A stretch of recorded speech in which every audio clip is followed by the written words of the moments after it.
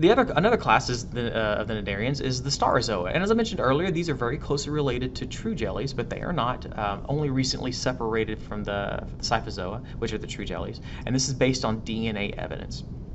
Uh, these guys are um, uh, they're sessile, so they don't really move as where true jellies are generally free floating, um, and they're very small.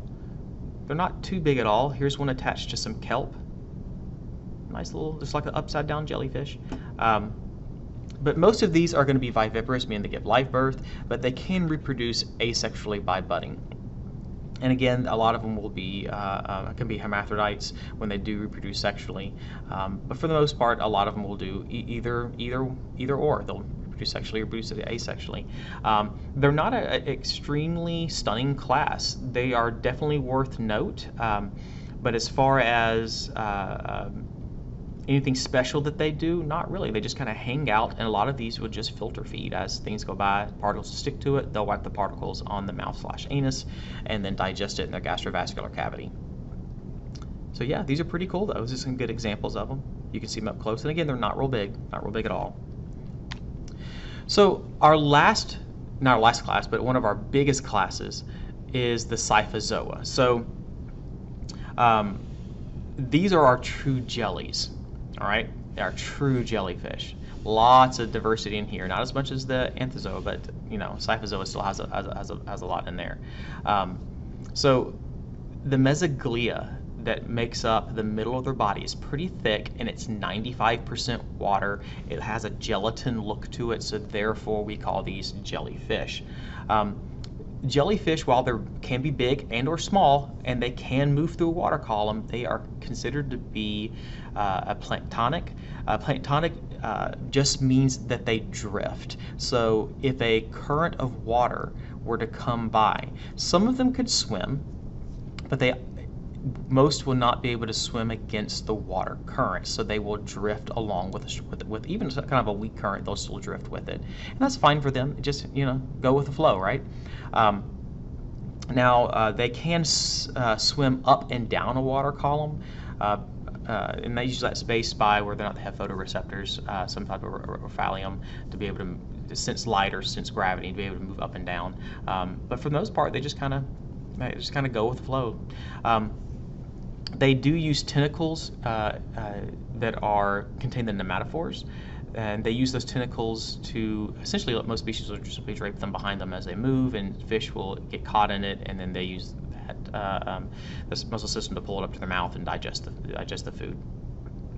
Um, in the young, we have the polyp form, and in the adults, generally, we have the medusa form.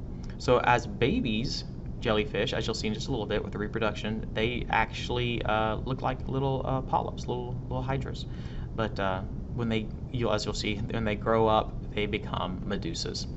Now, reproduction in, in jellyfish is, is complicated. There's not simply an adult and then the baby. There is a middle life form that occurs, which is interesting to us, but but it's actually very common in the animal kingdom. Oh, just wait until we get to flatworms.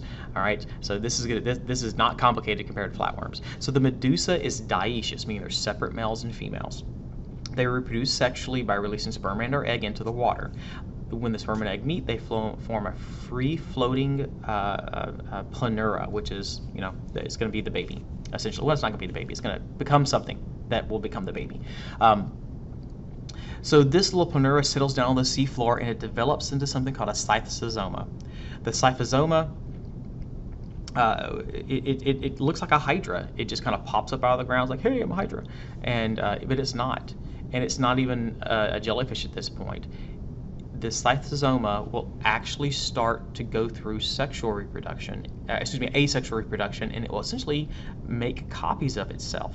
Uh, but it does so in a manner uh, almost like a, um, like a, a conveyor belt of just one uh, uh, uh, ba- essentially baby jellyfish at this point after another start popping up off of the scyphistoma. Um, once the, the, the end of the scyphistoma uh, uh, matures, it will break off. And it looks like a little medusa. It looks like a little jellyfish that will just live around. And as the and the next one will do the same thing when it matures, and so on and so forth. Um, these uh, little baby jellyfish are called Euphauria. Uh, the ephyra are uh, uh, kind of like yes, it's kind of like the the uh, larva stage of a jellyfish. It will actually go through a developmental process and make it look more like a jellyfish until it reaches adulthood. Um, and it's complicated process. Here's an example of it. Uh, here is the jellyfish. It's releases sperm and or, or, egg, and that will um, uh, combine to make the planula. The planula will settle on the bottom, comes the scyphistoma. The scyphistoma will start to go through uh, division a type of um, asexual reproduction where it produces a whole bunch of little baby jellyfish called the ephyra. And as the ephyra mature and break off, they'll start going through uh, more of a developmental process and become the adult. I know, right? There's a lot going on in there. Um, here's some eh, some clear examples of them. Here's the scyphistoma, right? This will attach to the bottom, and as they, they attach to the bottom, they look like little hydras.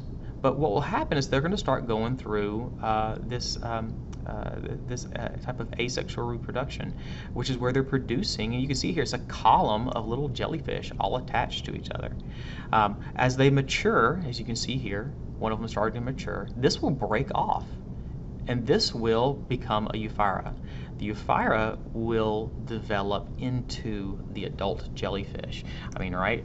So, and this is what they've become. Here's some great examples of jellies. Most jellies are, are not huge, but some species can get actually big. They can get to six feet around or, for in, in diameter from one side to the other. So that's actually really big. You got some people in there for uh, uh, for a little bit of scale. They're beautiful. Jellyfish are beautiful, beautiful creatures, but they're deadly also. So don't touch them. Um, so yeah, jellyfish, awesome.